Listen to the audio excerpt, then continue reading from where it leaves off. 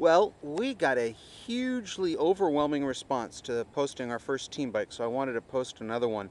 This is Kent Polk's uh, Carbon Aero 2.0 that he's going to be riding at Race Across America. And I'm going to start with what I think is probably the coolest thing on this bike. These are the CinQo power meter cranks. I'm not sure if I'm calling those correctly. But rather than using a power tap in the rear wheel like we've been using, he actually runs the uh, power tap in the cranks, which is real nice. He's got it set up as a double crank set.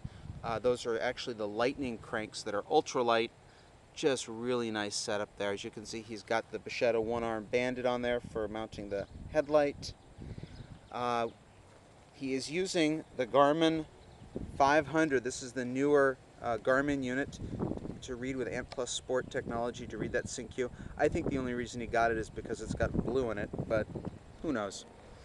Anyway, uh, in terms of the bike, he's running the HED 3 Aero wheels front and rear. Uh, this is going to be a nice, fast wheel set for him. He's got that made it up with a Shimano XT derailleur with bar end shifters. Real nice, clean shifting. You'll notice that he was running a standard double crankset up front. He's got the wide range 1134 cassette in back. And as you can hear in the background, my daughter is quite excited for me to do a video about her bike. Anyway, he's got uh, bottle cages on the seat. He's also using the bent up cycles uh, bag for the back.